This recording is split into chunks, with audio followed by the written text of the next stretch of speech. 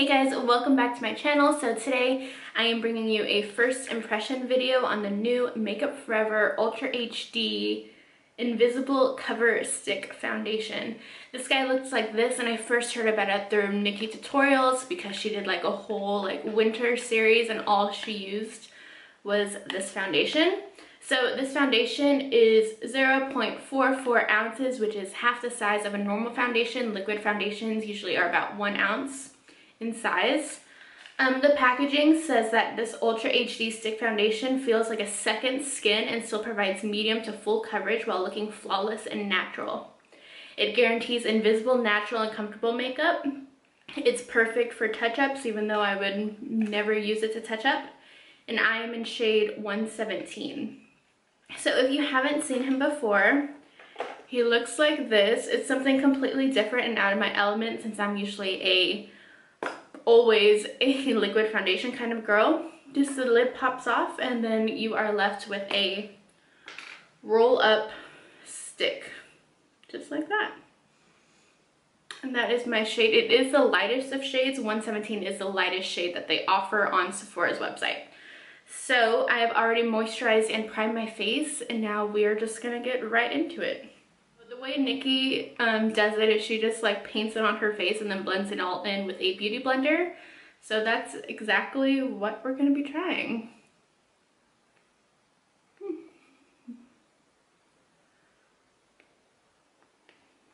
This is kind of fun, actually.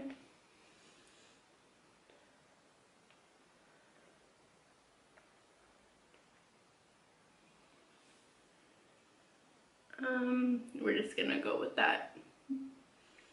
Hmm. And now for the Beauty Blender.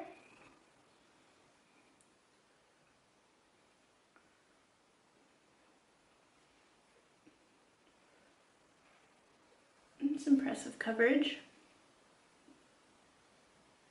I did apply quite a bit of it, so if you don't want like this much coverage, just use a lighter hand, but I am a full coverage kind of girl all the time. And it's starting to sink in and look supernatural. Almost too natural for my taste. You can still see some of my redness showing through. While it does have impressive coverage, I would say if you suffer from like severe acne, um, this probably won't be your favorite foundation because you can still you can still see the acne. So I would probably recommend this for someone um with like almost like perfect skin already. I feel like you would really love this. Like Nikkie she has like flawless skin like no pores so probably should have guessed that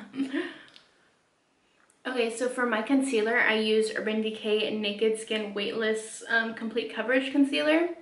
And if you are familiar with this concealer, you know that it's super potent. It's like a really high coverage concealer.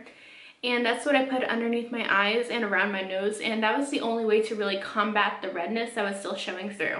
So already I'm going to say if you have redness in your skin or anything like discoloration that you don't want coming through, the foundation is not going to be strong enough. You're going to have to go over on top with concealer. So I'm going to powder this. I'm not going to do like anything crazy with my makeup today. We're just kind of running errands. So I'm going to powder this, eyebrows, everything else, and then I will update you again. Okay, you guys, so it is currently 12.55 and I have finished with the rest of my makeup. Um, I like how it's looking so far. I do have to say that my skin looks a little dry, but I believe that's partially my fault because I haven't been taking really good care of my skin lately.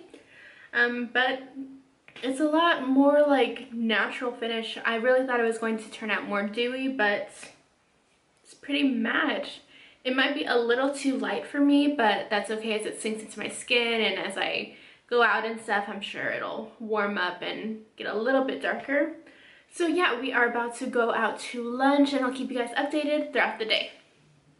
I think I like it. What time is it?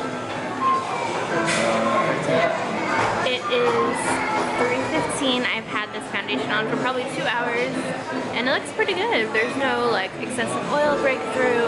it's not rubbing off. I did pick at my skin a lot because I felt like I had like a hair on my face, but still looking good.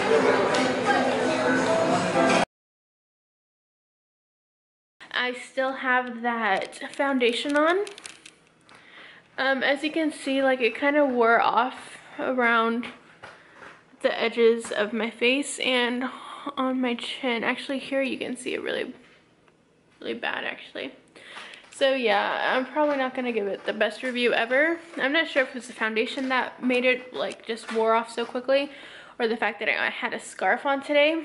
Hey guys, I am back. It is 7 o'clock in the evening and I'm going to give you my final review of the Makeup Forever Invisible Stick Coverage Stick Foundation. Okay, so for being brutally honest here, I don't think it's that impressive. You can see how oily my skin is and you can see that the foundation just started to break through and my natural skin is showing through. You can see it all right, all the way over here on my chin. You can see the oil deposits on the side of my nose and just everywhere. So my overall thoughts is that this foundation is not for me, nor would I recommend, recommend it to any oily skin girls out there or any girls who have any blemishes on their skin. Is it worth $43? Not in my opinion, no. If you have perfectly clear skin and are on the dry to normal side, then I think you could give this foundation a try although I do think there are better options on the market for $43. So those are my thoughts. Please let me know what you think down below if you're willing to give it a try. I was so excited. I love the packaging. I just, like you can see it in my skin. It's, it's nothing special. So yeah, let me know what you guys think. Thank you for watching and I'll see you next time.